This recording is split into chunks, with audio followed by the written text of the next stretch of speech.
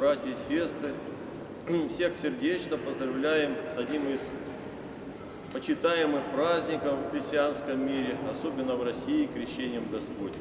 Вот мы с вами за, два, за две недели этих святок прожили мысленно такой путь, который Господь в земной жизни провел 30 лет, начиная от своего рождения. Он, как мы знаем, родился в Вифлееме, в этой пещере, которую осветил как предвестие нашего нечистого сердца, вошел, осветил его, и оттуда воссиял свет, свет, который ведет нас в жизнь вечную.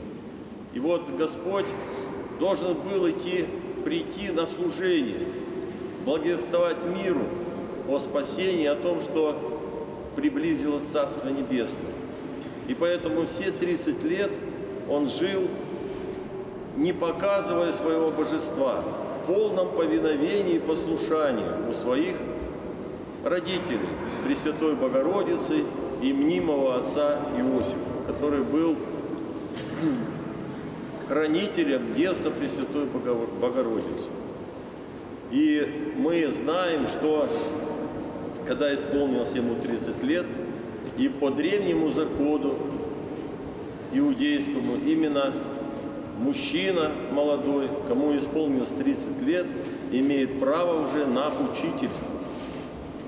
А до этого он должен жить в смирении, в послушании у более старших и опытных людей. Вот для нас еще один из таких примеров смирения, особенно для молодежи. И волю Божию молодежь, начиная от того, как он родился и живет под покровительством у родителей, получает через родителей – и достигая только уже 30 лет, он уже сам может благословлять, имея уже своих детей. А до этого всегда должен пользоваться благодатью через родителей и благословение получать от родителей. И поэтому Господь пришел и во всем исполнил закон, как Он и сказал в своих проповедях позже, что я пришел не отменить закон, а исполнить его.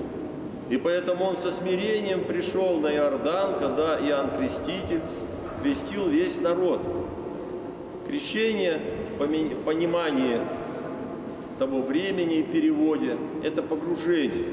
И был такой обряд и такое таинство, когда Иоанну Крестителю приходили все от Иудеи, от Десятиградия и вся иорданские все страны, люди оттуда, и погружались в воду. И он их держал до тех пор, пока они не исповедали все грехи. И после этого погружал полностью, и уже очищались они от грехов.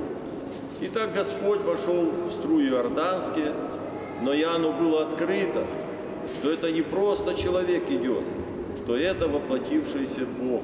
Это Агнец Божий, который должен принять все грехи мир на себя.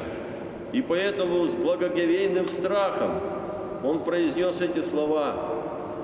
Не мне, не тебе от меня должно креститесь, а я от тебя должен принять крещение. Он уже имел крещение не от воды, а от духа и огня. Потому что говорил, что за мной идет крепче меня, которому я недостоин нагнувшись даже развязать сапог ног его. Но при этом Господь смиренно сказал, оставь это, ибо нам надлежит сейчас исполнить всякую правду. И он, войдя в воды Иорданские, не ему нужно было избавляться от грехов, а он очистил водную стихию от всякого лукавого навета вражего и сокрушил, как мы читаем в молитве, все змеи, главы змеев, то есть дьявольские силы и козни дьявольские, которые через воду передавались на человека. И вот, обновив это водное естество, Господь осветил, и выходя из Иордана, Иоанну открылась Троица, в которую мы сейчас верим. Мы помним, что первый раз в виде трех ангелов Троица явилась нашему прародителю Аврааму в пустыне. И новозаветная Троица явилась как раз-таки в том, как Господь вышел из вод Иордана.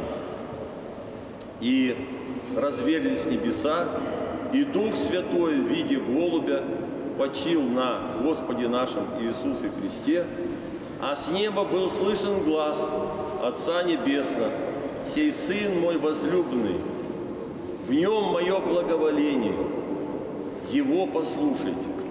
То есть все, что Он вам скажет, исполняйте.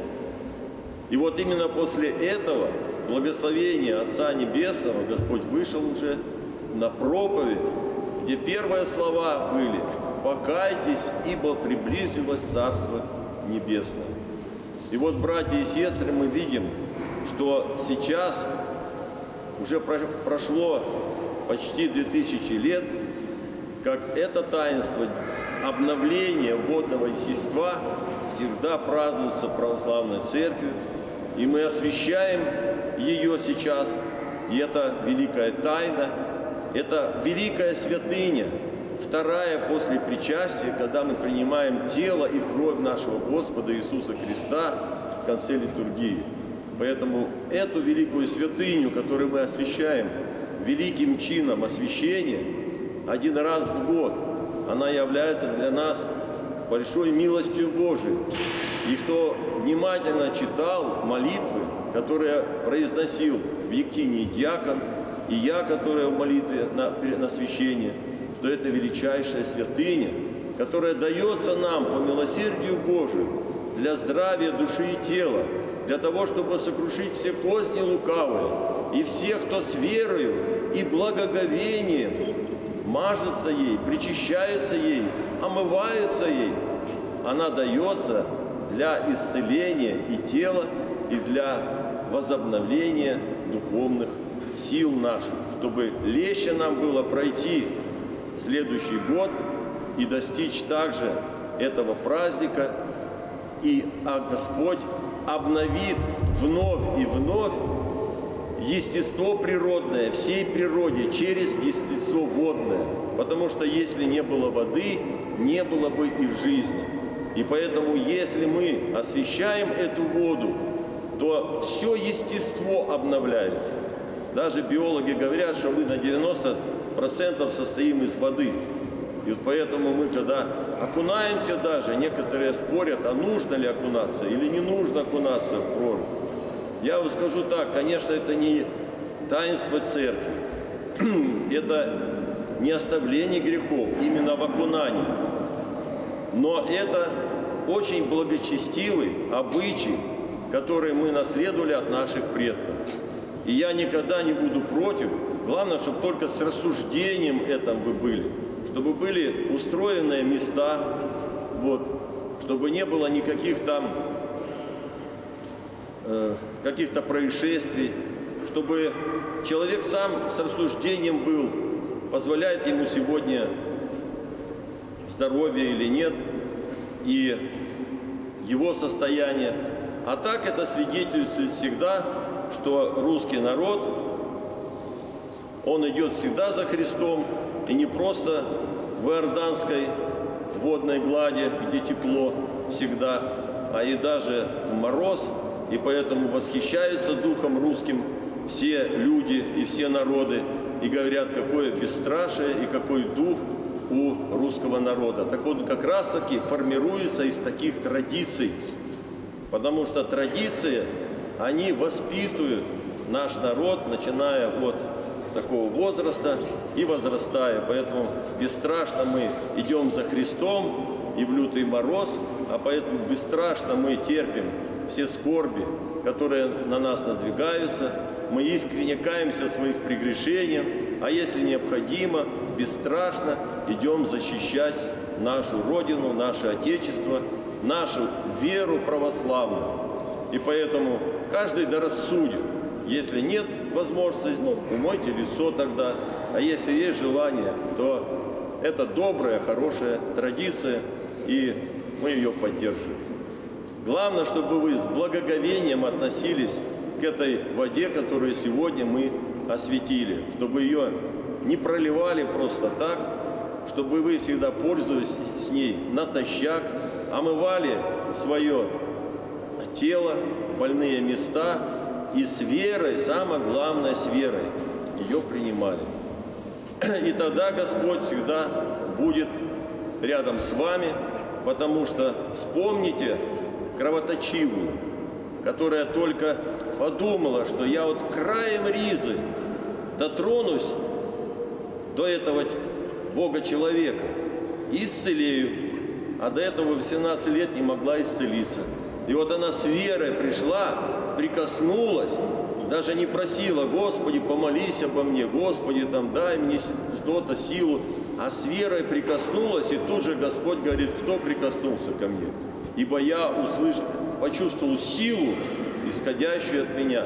И она там в страхе пришла, поклонилась, говорит, я, Господи, раба Твоя, иди, говорит, вера Твоя спасла Тебя. Поэтому всегда все принимайте святыни все, и особенно эту воду крещенскую, богоявленскую, принимайте со трепетом, благоговением и с великой верой. Тогда она будет вам действительно помощницей и укрепляющая наши духовные силы, чтобы пройти этот земной путь достойно, соединиться с Христом Богом нашим, с Пресвятой Богородицей и со всеми святыми. Храни вас Господь, помощи Божией. Еще раз с праздником, да хранит вас покров Божий на всех путях ваших и на всех делах ваших.